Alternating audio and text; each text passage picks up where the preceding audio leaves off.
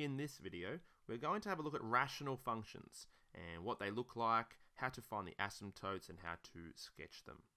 Okay, so a rational function is a function where we're going to have some sort of division uh, or, or x's on the bottom line. If you ever see an x on the denominator of a fraction, we know it's going to be a rational function. And rational functions have an interesting look and shape about them because there's times where in the function uh, we're going to have these random dotted lines which are actually asymptotes where the function doesn't exist. So we'll go through and find the asymptotes and intercepts of both of these examples and sketch them.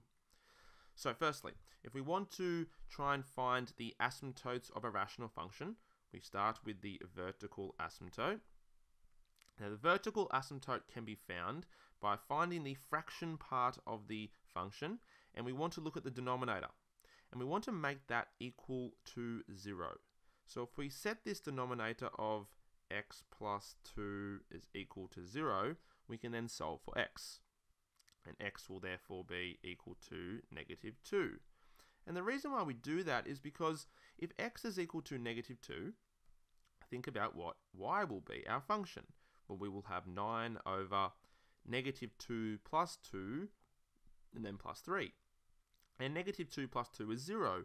And we know that 9 divided by 0 is undefined. We can't do that.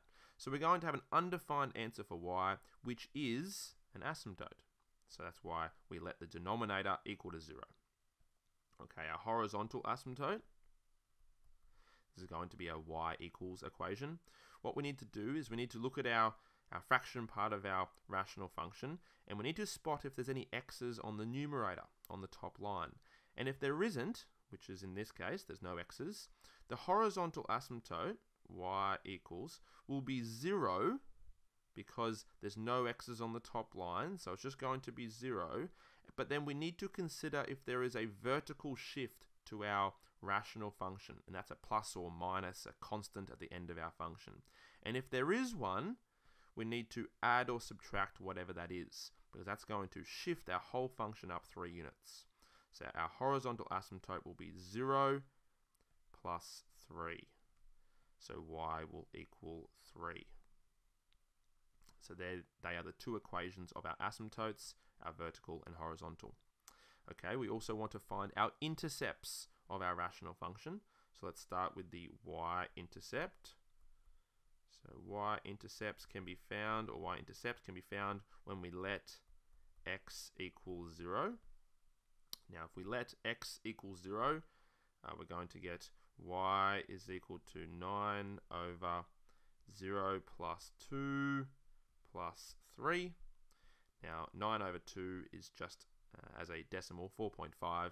We could add the 3, so we 7.5. So y will be equal to 7.5. And that will be our y-intercept. And well, that should be intercept. There's only ever one y-intercept. And x-intercept,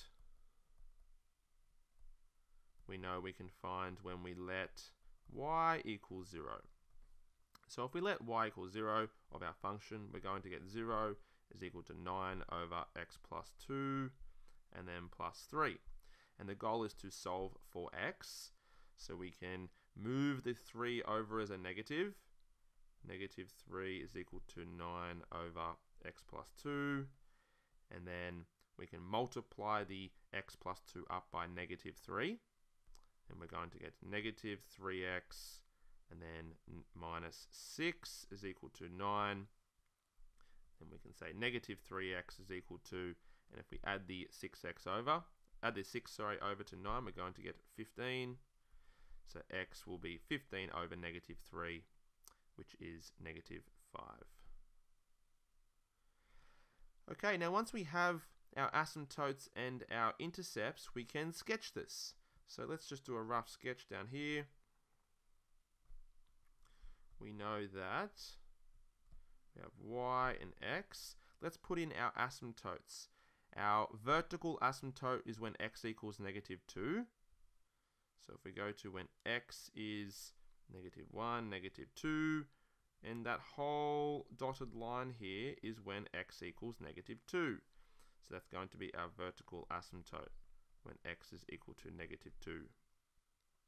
Now our horizontal asymptote was when y is equal to 3.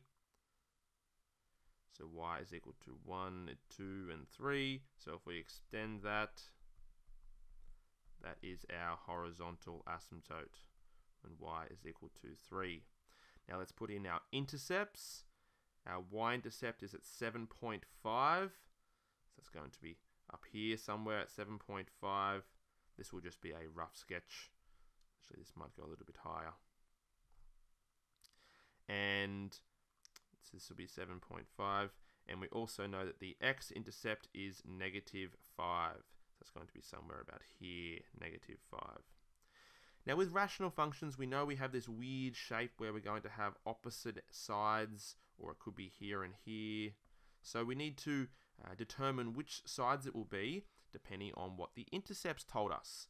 The intercepts told us that it goes through this point here at 7.5, so I know that it's going to have some sort of curve that looks like this, that will asymptote at this horizontal and asymptote at this vertical. And then we're also going to have one that passes through here and asymptotes and asymptotes. So it's a bit of a weird shape, but uh, they're pretty lenient in the IB Math exams just by doing a rough sketch through these two key points. Okay, so that's the first example. I'll go through the second example using a very similar technique. So if we have a vertical asymptote uh, when the denominator is equal to 0, so x plus 1 is equal to 0, so therefore x is equal to negative 1, we have found the equation of our vertical asymptote. Our horizontal asymptote, this is when y equals. Now I said in the first example, if there's no x's on top, it's going to be 0, and then we need to consider some uh, positive shift. If there is an x on top, the horizontal asymptote, the equation is y equals, and it's the coefficient of the numerator x divided by the coefficient of the denominator x. So in simple terms, it's going to be whatever the number is in front of the x over whatever the number is in front of the x. So it will be 2 over, and there's an invisible 1 here in front of the x. So it'll be 2 over 1. And we do need to consider, is there a positive or negative shift happening here? And in this example, there is not. So we can just say y is equal to 2. Okay, our intercepts, our y-intercept, that is when x is equal to 0. So we have y is equal to 2 times 0 plus 4 over 0 plus 1. So y will equal 4 over 1. And our x-intercept, this will be when y is equal to 0. So 0 is equal to 2x plus 4 over x plus 1. Now to solve this, we just multiply the x plus 1 up by 0, which is just 0. So 0 will just equal the numerator, 2x plus 4. If I move the 4 over, it'll be negative 4. Then if I divide the 2 underneath, I'll get negative 2. So x will equal negative 2. Okay, so let's now sketch with what we know. So I have my y, my x, my asymptotes, I can put dotted lines. So when x equals negative 1, which will be here, that's VA when x equals negative 1, and my horizontal asymptote was when y equals 2.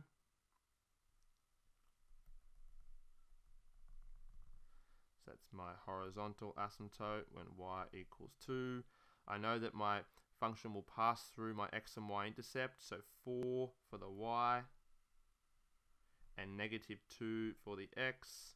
So once again, I can then sketch my curve with a rough shape that passes throughout my points but asymptotes at my dotted lines.